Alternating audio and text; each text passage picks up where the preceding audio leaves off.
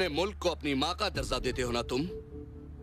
उसकी छाती से उसका दामन खींचकर तुम सबका सर शर्म से नहीं झुकाया आप? जहीर खान! कायरों की तरह मंदिरों और मस्जिदों में घुसकर औरतों और बच्चों को मारते हो। अब तक ज़िंदा हो क्योंकि हमारी सरकार ने हमें रोक रखा है। जिस दिन जंग का ऐलान हो गया, अंदर घुसकर मारेंगे। हमारा एक एक जवान तुम्हारी नपुंसक फौज पर भारी पड़ेगा।